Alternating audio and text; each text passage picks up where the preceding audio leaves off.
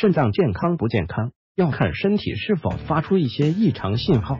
对于慢性肾病的人来说，最该预防的事情是避免肾功能恶化，发展为尿毒症。第一，肾不好的人，小便是最重要的征兆之一。早期肾病会出现多尿，随着病情的进一步进展，多尿则会发展为少尿，甚至无尿。当出现少尿和无尿的时候，需要警惕尿毒症已经发生了，肾脏几乎没什么代偿功能。第二，肾不好的人，贫血是重要的标志。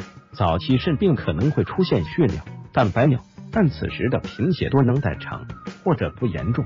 随着病情的进一步进展，当发展为慢性肾衰竭甚至尿毒症的时候，贫血会越来越严重，会出现明显的头昏、乏力不适。尿毒症人群往往是重度贫血，这是由于肾脏无法分泌促红细胞生成素所致。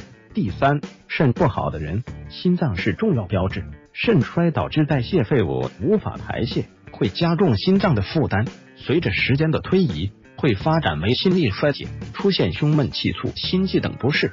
第四，肾不好的人，蛋白是重要标志。早期肾病会出现微量蛋白尿。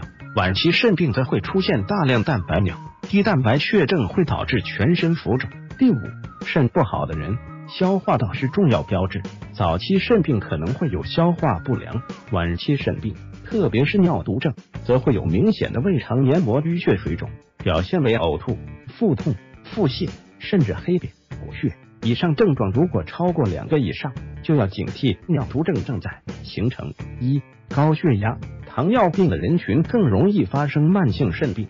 对于这两类人群，除了要控制血压和血糖外，还应该定期检查肾功能。